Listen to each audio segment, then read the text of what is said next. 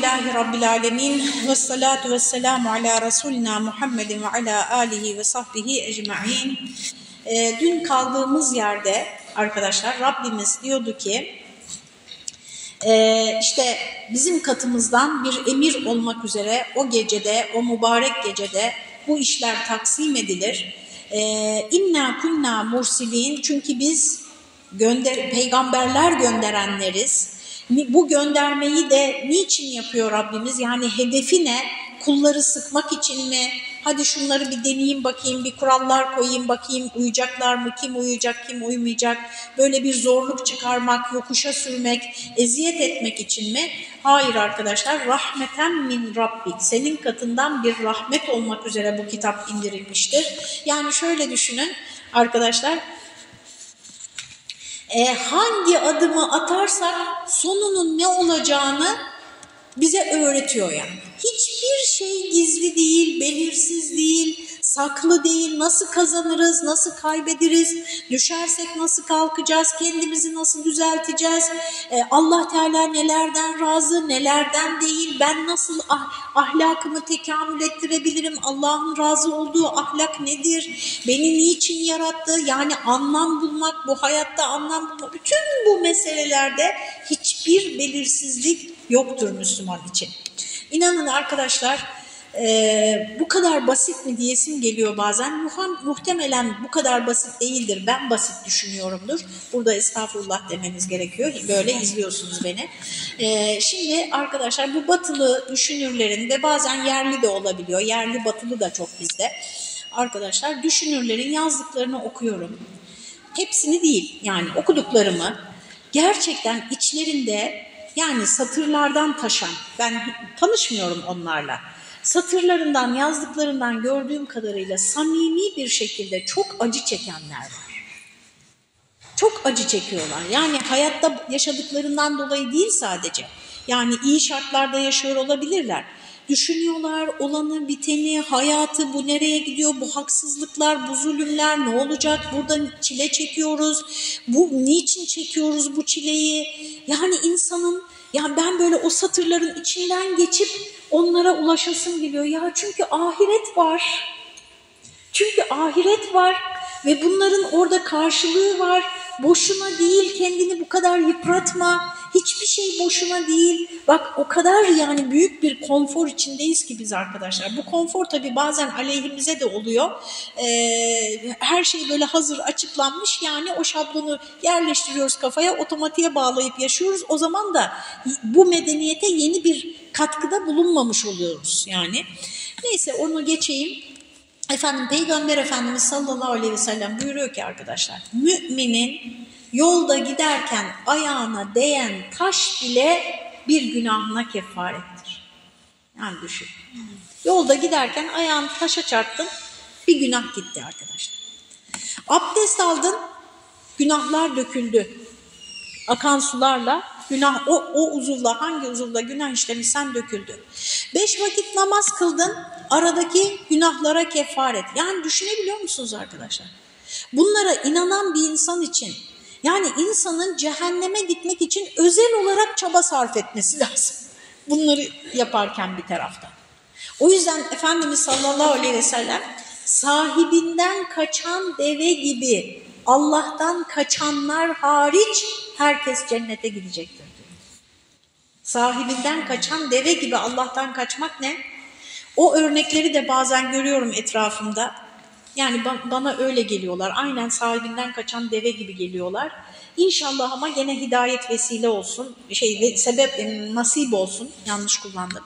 Hidayet nasip olsun inşallah. Çünkü şöyle sahibinden kaçan deve gibi ne demek yani insanın Allah'tan kaçması? Etrafında Müslümanlar var, Müslümanlığı görmüş, güzel örnekler de var. Yani bir tık ötesinde biliyor musunuz? İyiler, iyilikler, güzellikler bir tık ötesinde. Hepsine sırt çeviriyor ya. Siz ulaşmaya çalıştıkça o sizden uzaklaşıyor. Mesaj atıyorsunuz, cevap yazmıyor, arıyorsunuz, e, dönmüyor. Bilhassa kaçıyor yani. Bilhassa kaçıyor. Rabbim kalplerine ferahlık versin. Acaba nasıl bir e, yani nasıl bir karanlığa maruz kaldılar da ışık girmiyor artık yani. Işık girmiyor. Nasıl bir karanlığa alıştılar ya da maruz kaldılar e, diye düşünüyorum. Şimdi işte Allah'ın bir rahmetidir. O peygamber gönderme, o indirilen kitaplar. Ondan sonra Rabbimiz kendisini tanıtıyor arkasından gelen ayetlerde arkadaşlar. Ve dün ne demiştik? Son sözümüz oydu. Ee, Rabbini tanıyan ancak onu sever, ona güvenir, ona bağlanır. Mesela Allah'a tevekkül etmekten bugün birkaç yerde geçti. Tevekkülden bahseden ayetler.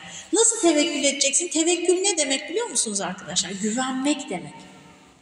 Yani mesela şimdi karşımda Hilal var. Ben Hilal'e güveniyorum. Gerçekten de öyle Hilal. Bak ilan ettim herkesin içine. Hilal bir işi üstlenmişse kontrol etmeme gerek yok. O iş olur. Evet Allah. Bunu söyleyebilmem için ne kadar tanımam lazım? En az bir yani 10 sene demeyeyim de bayağı bir ortak iş yapmış olmamız lazım. Kaç kere tecrübe etmiş olmamız lazım. Peki sen Allah'ı hiçbir sıfatını tanımıyorsun. Esmasını bilmiyorsun. Huyun, yani huyunu suyun diyeceğim de insan gibi oluyor. Ne, ne olunca ne yapar, nasıl karşılık verir bilmiyorsun. Nasıl tevekkül edeceksin? Bilmiyorsun ki. Bir olayla karşılaştığında aklına bile gelmiyor yani. Ya Allah mesela okuduk ayetlerde. Allah kime yardım ederse ona yenilgi yoktur. Allah kime yardım ederse o asla yenilmez yani. Dolayısıyla Allah'ın yardımını hak etmeye bak. Veya başına gelen bir şeyi yenilgi diye görme hemen. Bazen yenilgi zaferdir arkadaşlar. Merak edenler Ali Murat Daryal Hoca'nın Uhud Savaşı hakkındaki yorumlarına bakabilirler. Şimdi işte burada Rabbimiz kendisini tanıtıyor. Bak Semiye Alim 6. ayette. Her şeyi işitir, her şeyi bilir. Yani senin hastalığını da biliyor, çektiğini de biliyor, yaptıklarını da, senin sözlerini de, sana söylenenleri de her şeyi işitiyor Allah. Mesela Cenab-ı Hakk'ın Semi ve Basir isimleri ve bunun gibi Alim isimleri e, arkadaşlar doğru yolda olanlar için tesellidir yanlış davrananlar için tehdittir. Yani aynı isimler. Mesela başınıza bir şey geldi. Birisi size bir haksızlık yaptı. Diyorsunuz ki ya Allah her şeyi biliyor yani. Allah'tan hiçbir şey gizli değil. Bakın size bir teselli, gene de hakkınızı arayın. O ayrı ama moraliniz bozuk olarak değil. Çünkü Allah biliyor. Siz haklı, haklıysanız sizin yanınızda yani. Peki o kişi için Allah her şeyi biliyor. Mesela konuşuyorsunuz, sizin hakkınızı yiyor, ispat edemiyorsunuz, deliliniz yok. Ona diyorsunuz ki, ya Allah'tan kork ya, Allah işitiyor bu söylediklerini diyorsunuz. Onun içinde tehdit. Gördünüz mü? Yani doğru yoldaysanız bu isimler size güven verir, huzur verir. Yanlış yapıyorsanız bu isimler sizi tehdit eder. Dolayısıyla Esma-i Hüsna'yı bilmek, arkadaşlar Rabbimizle aramızda kuvvetli, canlı, aktif, sürekli işleyen ve fonksiyonel bir ilişki kurabilmemiz için bizden yana. Şimdi birisi demişti ki ya niye Allah'a yakın olmamız için bu kadar çalışmamız gereksin ki zaten Allah bize yakın. İlk önce bir şaşırdım ya evet gibi geldi bana. Arkadaşlar birisi bana çok yakın hissedebilir. Peki ben ona yakın mıyım? Yani Allah'ın bana yakın olması başka şey. Benim Allah'a yakın olmam başka şey arkadaşlar. Onun için gayret etmek gerekiyor. O da Esma-i Hüsna'dan geçiyor. Bakın şimdi devam ediyor. Rabbus semavati vel ardı ve ma beynehuma. Allah göklerin, yerin ve bu ikisinin arasındaki her şeyin Rabbidir. Yani hiçbir şey onun kontrolünün, hakimiyetinin dışında değildir. İn kuntum muqinin. Eğer siz yakini bir şekilde Allah'a inanıyorsanız bunu böyle bilin yani. La ilahe illa hu 8. ayet. Ondan başka ilah yoktur. Yuhyi ve yumit. Hay ve e, Hay isminin e, karşılığı. Yuh, çünkü Cenab-ı Hakk'ın öldüren diye Mumit de var gerçi Kur'an-ı Kerim'de ama İsmail Hüsna'da geçmiyor. Burada fiil şeklinde gelmiş. Hayat veren ve öldürendir. Hem hayat verir hem öldürür. Bunu müşahede edip duruyorsunuz. Bunu sürekli gözlemliyorsunuz. Her şey doğuyor, var, varlık alemine çıkıyor, ömrünü tamamlıyor, bitiyor. Yani işte bataklık sinekleri diye bir sinek tarzı varmış. Ee, birkaç saat falan yaşıyorlarmış. İşte bazı kelebekler mesela bir gün yaşıyorlarmış. Ee, düşünsenize bir günlük bir hayatı var. İkindiye kadar yaşamışsa bayağı bir yaşadı diyorlardır demek ki. Öğlene kadar yaşana tüh tüh daha da vardı vakti falan. E sabah kuşluk vakti ölene vah vah genç gitti diyorlardır. Bak şimdi gülüyorsunuz. Ee, hikayeye göre Nuh kavmine demişler ki gelecekte yani kıyamete yakın insan ömrü o kadar kısalacak ki 60-70 yıl yaşayacaklar. Onlar tabii 900 yıl falan yaşamış, 1000 yıl yaşamışlar. Onlardan biri de demiş ki o kadar ömür için evde yapacaklar mı? yani o kadarlık bir ömür için evde yapacaklar mı? Şimdi mesela medeniyetler de böyle doğuyor, gelişiyor, ölüyor. Her şeyin bir ömrü var. Arkadaşlar biz kendi ömrümüzü uzun zannediyoruz ama ağaçlar bizden çok yaşıyor.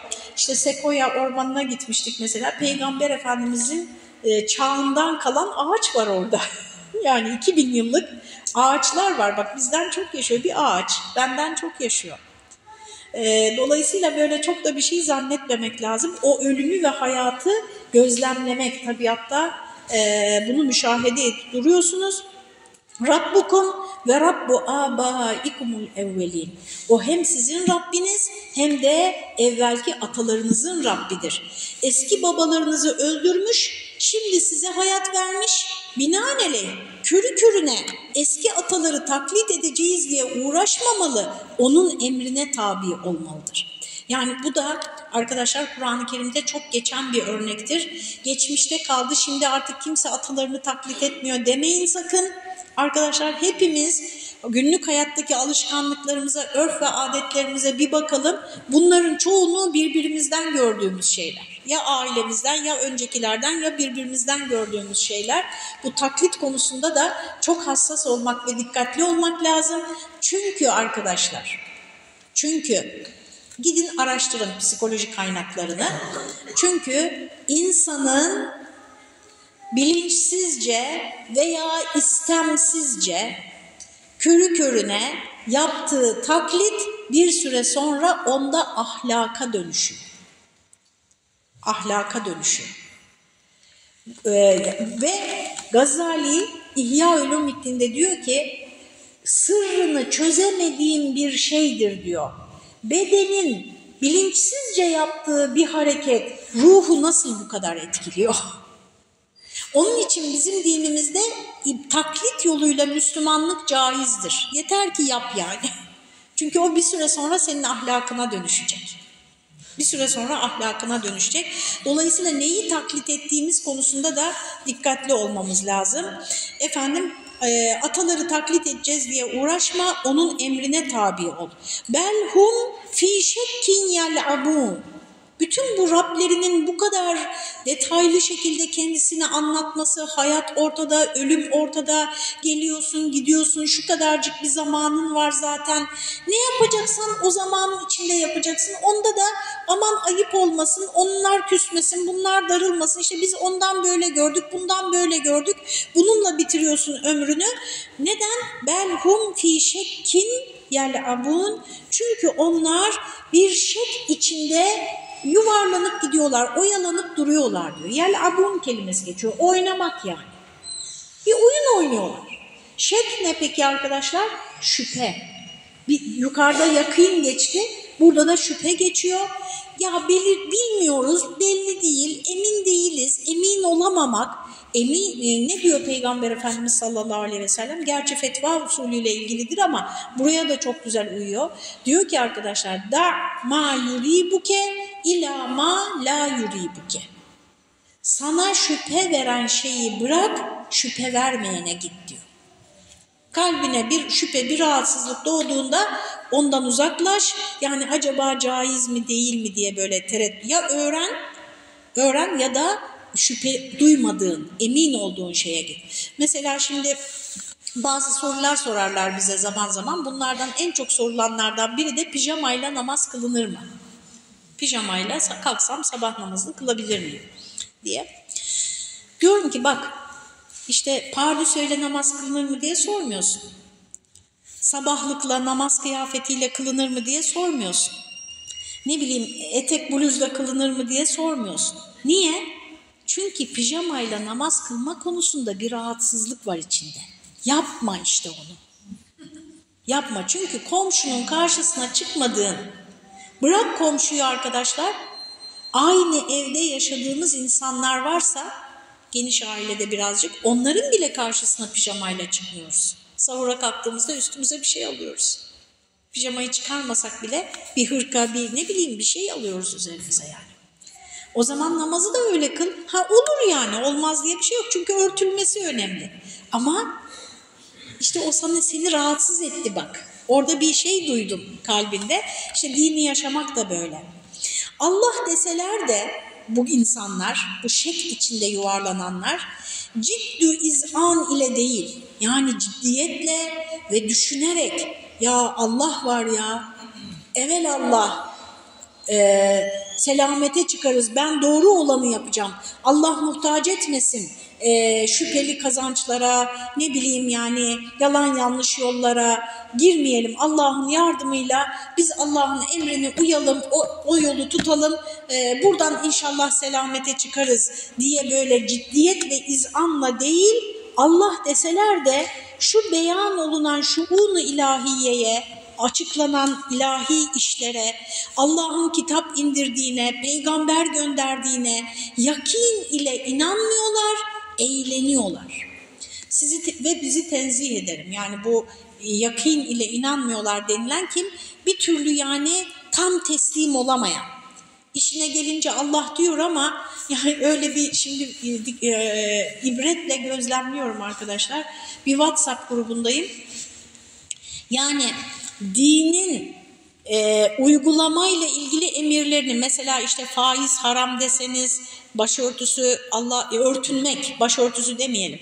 Ona indirgendi çünkü. Örtünmek yani tesettür Allah'ın emri deseniz şiddetle karşı çıkacak ama her mübarek gecede her cuma gününde rızık için şu duaları okuyun, işte huzur için şu duaları okuyun, uzun ömür için şu duaları okuyun, sağlık için şu duaları okuyun diye de hepimizden daha çok paylaşıyor.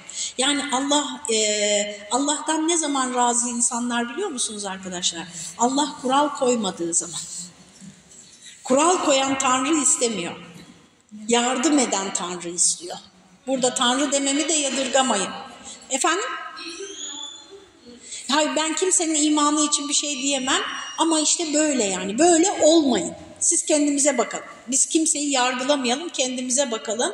Böyle olmamamız gerektiğini, ciddiyet yani iman işi ciddiyet bir ciddi bir iştir. Sen Allah var diyorsan ahiret var diyorsan, peygamber Allah'ın elçisidir diyorsan Hazreti Muhammed o zaman artık hayatın eskisi gibi olamaz yani. Bununla ilgili de yıllardır söylerim, kült bir kitaptır, biraz böyle radikaldir ama hayatınızda bir kere olsun okuyun, Seyit Kutub'un yoldaki işaretlerini okumanızı tavsiye ederim. Fertakib, o halde muntazır ol, fertakib Rakip isminden geliyor. Yani gözlemle sen. Sen onları seyret. Bekle. İşte buradan inzar başlıyor. İnzar. Çünkü akıbetleri gelecek şimdi. Artık gözetle onları. Bir gözlemle sen bekle, seyret. Efendim, yevme te'tis sema'u biduhanin mubin. Sureye adını veren ayet bu işte. O günü bekle ki sema bir duhanı mubin ile gelecek. Yani bütün gök bir dumanla kaplanacağı günü bekle. O gün onların halini sen göreceksin diyor. Yavşen nas öyle bir duman ki öyle bir duhan ki bütün insanları kuşatmış. İnsanları kuşatan, kaplayan bir dumanın geldiği günü bekle. Duhanı mübin Elmalı'nın açıklamasını okuyorum. Aşikare duman demek. Bu duhan hakkında iki tefsir rivayet olunmakta. Birisi İbni Mesud Hazretlerinden Mervi olduğuna göre şiddetli açlık ve kaht, kıtlık seneleri. Şiddetli açlıkla dumanın ne ilgisi var? Arkadaşlar şiddetli açlık yaşayan herhalde aramızda yoktur. Biz orucu biliyoruz bir tek açlık diye. O da akşama doğru hafif bir baş ağrısı değil mi? Birazcık böyle bir şey. Açlık arkadaşlar e, acayip bir şeymiş. Allah bırakmasın. Bir de şunu da düşünün. Bizim gençler söylemişlerdi. Hakikaten hiç aklıma gelmemiş. Anne dediler ki işte kendi e, tanıdıkları gençler için. Anne hiç oruç tutmamışlar. Açlığın ne olduğunu bilmiyorlar. Bakın bir insan bizim ülkemizde bizim gibi şartlarda arkadaşlar oruç da tutmuyorsa açlıkla ilgili hiçbir fikri yok. Hiçbir fikri yok. Allah düşürmesin. Çok acı verici, acı çekerek e, ölüyorlarmış açlıktan ölenler arkadaşlar. E, bu duman şiddetli açlık ve kaht seneleridir diyor. Kim? Abdullah bin Mesud'dan bir rivayet. Çünkü çok aç olan kimseye gerek gözlerinin zayıflığından ve gerek çok kuraklık ve kahıtlık senelerinde havanın fenalığından sema dumanlı görünür. Ben çocuklara söylüyordum diyorum çocuklar iftar ettikten sonra gözlerim daha iyi görüyor. Gülüyorlar bana. Gerçekten böyle arkadaşlar. Siz de deneyin işte. Bana olmuyordur herhalde bir tek. Düşünün ki yani açlık belli bir noktayı geçince her şeyi dumanlı görmeye başlıyorsun. Mesela diyoruz ya biz bazen ben elhamdülillah hiç demedim e, aklıma zaman zaman gelse bile hemen uzaklaştırıyorum. Ya bu işte fakir fukara da hiç gayret etmiyorlar, işte biraz çabalasınlar, biraz arkadaşlar bir noktadan sonra fakirlik bir noktayı geçince bütün çabayı da bırakıyormuş insan. Çünkü yapacağı bir şey yok yani zaten çıkamaz işin içinden. Zaten gücü kalmamış yani onu yapmak için. İşte miskin denilen o toprağa karışmış fakir. Yani artık ölümü bekliyor yani.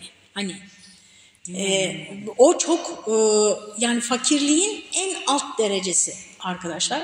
Ve mesela bir laf daha diyoruz çocuk yapmasınlar diyorlar böyle. Tam tersiymiş. Bakın bunu da evrimciler söylüyor arkadaşlar. İnsanın biyolojik yapısı soyunu sürdürmek üzere kurgulandığı için e, açlık, kıtlık ve savaş zamanlarında cinsel güç artıyormuş. Çünkü çok insanlar yok olduğu için o boşluğu doldurman gerekiyor yani. O yüzden e, istemsiz bir şekilde, e, kontrolsüz bir şekilde daha fazla e, doğuruyorlar. Çünkü kendi varlığını sürdürmeye odaklı bütün varlık, sadece insan değil, hayvanlar da böyle. Biraz belgesel izlerseniz bunları daha net bir şekilde orada görürsünüz. Nitekim diyor Türkçe'de Dumanlı hava tabirini biz de kullanırız. Gerçekten duman olduğundan değil. Vaka şudur, yani böyle bir olay olmuş. Kureyş Resulullah sallallahu aleyhi ve selleme isyanda ileri gitmek isteyince aleyhlerinde dua ediyor Peygamber Efendimiz. Yusuf'un seneleri gibi kıtlık seneleriyle Cenab-ı Hakk'ın onları sıkıştırmasını istiyor. Ya Rabbi bunlara bir kıtlık ver, biraz sıkıştır, hani sana yönelsinler diye. Bunun üzerine onları bir kaht yakaladı, bir kıtlık yakaladı. Hatta cife yani leş, kemik, ilhiz yediler. İlhizin dipnotta açıklaması var, camide söylemeyeyim arkadaşlar. Berbat bir yemek yani. Yediler. Ee, o, kişi yer ile gök arasını duman görüyordu. Yani öyle bir kıtlığa yakalandılar ki bir de Mekke'yi düşünün yani zaten ot bitmiyor. Efendim yerle gök arasını böyle duman görüyordu insanlar. Söyleyenin sesini işitir, dumandan kendisini göremezdi. Yani gözlerine duman çökmüş. Buyurulduğu gibi halkı sarmıştı. Aynen burada yavşen nas diyor ya ayet-i kerimede. Onun gibi sarmıştı. Hada azabun elim. Bu elim bir azap diyorlardı. Yani çok acıklı durumdayız. Çok kötü durumdayız diyorlar. Ebu Süfyan birkaç kişiyle peygambere geldi. Allah Teala'ya ve Rahim'e ant verdiler. Yani Allah hatırı için ve akrabalık hatırı için. Rahim burada sıla rahim. Eğer dua eder de bu hali üzerlerinden defeylerse iman edeceklerine vaatleştiler, söz verdiler. Rabbena kşif annel azabe inna mu'minun. Ey Rabbimiz 12. ayet bu azabı bizden kaldır, aç, biz mümin olacağız. İman edeceğiz. Açarsan iman edeceğiz dediler. Birinci yorum bu. İkinci tefsirde ise Hazreti Ali'den şöyle menkuldür. Kıyametten evvel yani İbni Abbas'ın tefsirine göre bu yaşanmış bir olay. Mekke'de olmuş e, ve işte böyle bir olay gerçekleşmiş. Fakat Hazreti Ali'nin yorumuna göre duhan kıyametten evvel semadan gelecek bir dumandır. Kafirlerin kulaklarına girecek ta ki her birinin başı püryan olmuş başa dönecek. Mümine de ondan zükam yani nezle gibi bir hal arız olacak ve bütün arz içinde ocak yakılmış fakat deliği olmayan bir eve dönecek. Her yer dumanla kaplanacak e, diyor. E, bir belgeselde izlemiştim arkadaşlar. Belgeseller gerçekten aslında yetersiz bana göre yani ama olanları bile izlemiyoruz. Şu dizileri izlediğinizin onda biri kadar belgesel izleseniz kültürünüz tavan yapar. Hepimiz için söylüyorum yani ben de sizi içinize katıyorum kendimi. Bir belgeselde e, dünyanın daha önce de defalarca e, üzerindeki yaşamın sona erip tekrar başladığına dair bir teori var. E, olay yani şöyle olmuş, e, yanardağlar, bütün yeryüzündeki yanardağlar aktifleşiyor. Gökyüzünü duman kaplıyor biliyorsunuz bir ara Kuzey Denizi'nde mi bir yerde olmuştu İzlanda'da galiba uçaklar çalışamadı. Yani e, aylarca galiba öyle hatırlıyorum sürdü. Şimdi bütün dünyadaki yanardağların bu şekilde püskürttüğünü düşünün. E, şey kaplıyor, lav e, tozlar kaplıyor gökyüzünü. Güneş ışınları yeryüzüne inemiyor. Otlar bitmiyor arkadaşlar. Hayvanlar yok oluyor, insanlar yok oluyor. Yani insan varsa insan da yok oluyor. Yani çok nasıl diyeyim size son derece zayıf güçsüz ve bir böyle bir taşın yerinden oynamasına bağlı bir dünyada yaşıyoruz. Hani o buz devrinde var ya şeyi sincap fındığı gömünce çatırdamaya başlıyor. Aynen onun gibi yani. Tek bir harekete bakıyor. Tek bir şeyin yerinden oynaması bütün sistemi alt üst edebiliyor. Mesela beni çok dehşete, hayrete düşüren şeylerden biri de yer kabuğunun en kalın yerinin yanlış söylüyorsam lütfen düzeltin 8 kilometre falan olduğunu söylüyorlar. Bu ne demek biliyor musunuz arkadaşlar? Binlerce derecede kaynayan bir kazanın üstündeki incecik kabuğun üstündeyiz yani. O, o incecik kabuğun üstündeyiz. Hani Düştük düşeceğiz, çatladı çatlayacak. Bu dünyaya aman bir kat daha atalım, bir kat daha atalım. İşte dolapları dolduralım, Ramazan geliyor, kış geliyor, yaz geliyor diye böyle e, yığmaya çalışıyoruz. Cenab-ı Hak onun için laibun ve lehbun diyor dünyaya. Bir oyun ve eğlenceden ibaret yani.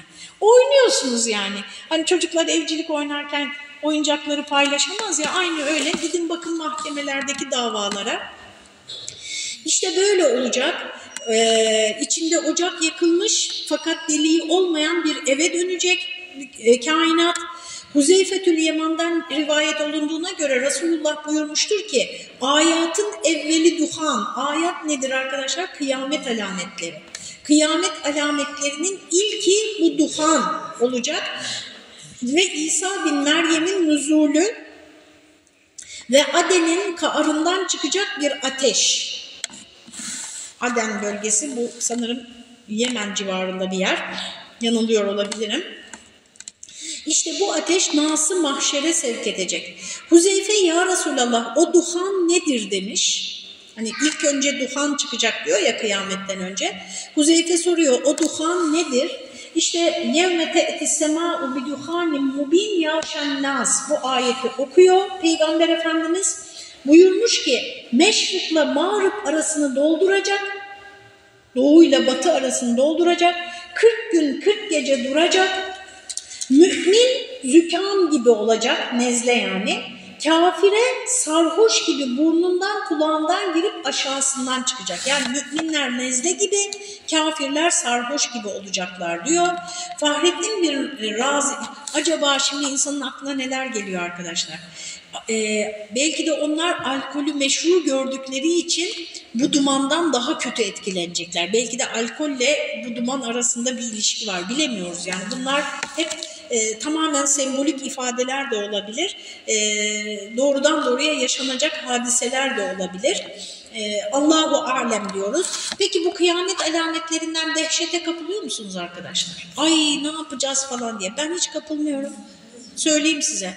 Diyeceksin ki neyine güveniyorsun? Bir şeye güvendiğimden değil. Arkadaşlar siz ölünce zaten sizin kıyametiniz kopmuş oluyor. Kıyamet alametlerinden korkmayın siz. Kendi amelinizden korkun. Kendi ameliniz eksik mi? Ee, efendim bir iyiliğiniz eksik mi? Bir hayır hasenatınız eksik mi? Hepimiz için söylüyorum yani. Bundan korkun. Yoksa ben öldükten sonra kıyamet isterse milyon senesine kopsun. Sonra bir şey fark etmeyecek yani.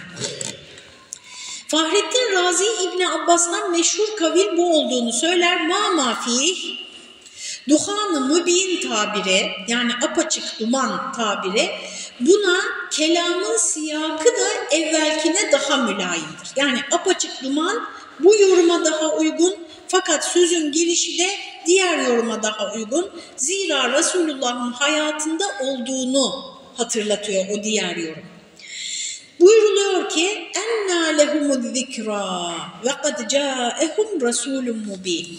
Ha, bu işte bu geliş, sözün bu gelişi e, bu Duhan hadisesinin Peygamber Efendimizin hayatındayken Mekke'de yaşanan olay olduğunu hatırlatıyor. Niye?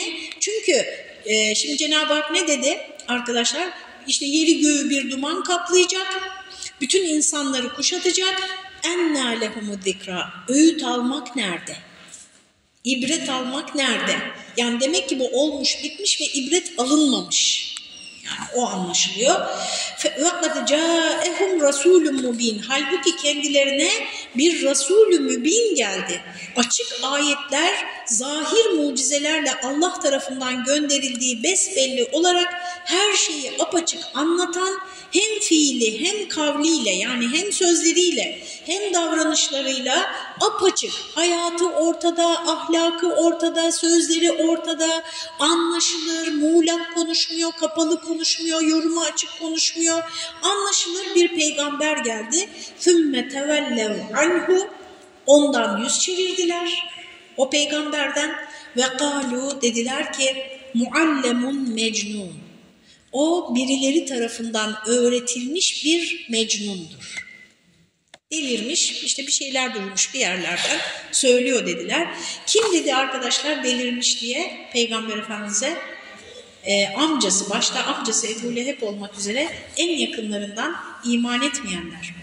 Kah muallem, talim olunmuş, öğretilmiş, Sakif'ten birinin acemi bir kölesi öğretiyor dediler. Kah mecnun dediler. Artık bu halde, bu kabiliyette bulunan insanlara yalnız vukuatın ifadesinden ibret almak, mütenebbih olmak, sözünde durmak ne kadar uzak. Şimdi bunu biraz açıklayıp burada bırakalım. İnşallah burayı, bu bölümü Cuma günü tamamlarız. Ee, arkadaşlar diyor ki, ap açık sözleriyle, hayatıyla, ahlakıyla her şeyi ortada, anlaşılır. Yani ahlakı ortada, tek bir yalanına şahit olmamışsın, hiç kimseyi kandırdığını görmemişsin, çıkarı için bir şey yaptığını görmemişsin. Tanıdığın, bildiğin insanın insana bile böyle diyen ve onun getirdiği mesajı reddeden onu delirmiş diyen halbuki içlerinde en zeki, en akıllı hala bile bir taraftan delirmiş diyorlar, bir taraftan bütün kıymetli eşyalarını ona emanet ediyorlar. Arkadaşlar bunu diyen insan diyor nerede kalmış ki olaylardan ibret alsın? Nerede kalmış ki işte bak biz açlık çektik, kim dua etti de kurtulduk. Aynı şeyi biliyorsunuz Kur'an-ı Kerim'de yanılmıyorsam Araf suresinde gelecek arkadaşlar. Hazreti Musa ile Firavun ve e, Mısırlılar arasında oldu. Firavun ve kavmi arasında oldu. Defalarca felaketler yaşadılar. Her felakette Hazreti Musa'ya gittiler. Ya Musa sen Rabbine yalvar da bu felaketi bizden mesela bir, bütün suları kana döndü kıpkızıl akmaya başladı. Kurbağa, çekirge istilasına uğradılar. Efendim her seferinde Hazreti Musa'ya gittiler. Ee, sen dua et de Rabbim bizden bu felaketi kaldırsın diye dua etti. Felaket kaldırıldı ama yine Hazreti Musa'ya iman etmediler. Onu sihir yapmakla suçladılar. Yani arkadaşlar sözün özü iman etmek isteyen iman için gerekçe bulur. İnkar etmek isteyen inkar etmek için gerekçe bulur. Önce biz, çok ilginç bu bakın, önce biz tercihimizi yapıyoruz. İnanacak mıyız, inanmayacak mıyız? Ondan sonra kendimize e, açıklamalar üretiyoruz. Diyeceksiniz ki yani iman insanın kendisini kandırması mı? Hayır tabii ki. Yani inkar etmek isteyen de e, kendince çok haklı, e, tutarlı kendince gerekçeler buluyor. İşte bize düşen oradaki onun o bize sunduğu gerekçelerdeki zayıf noktayı bulabilmek. Bunu bulabilmek için de birazcık safsata bilgisi gerekiyor. Arkadaşlar fırsat bulursanız oraya da bakarsınız. Efendim 15. ayete geldik. İnşallah Cuma günü kaldığımız yerden devam ederiz. Şimdi dışarıdaki yardım çalışmasına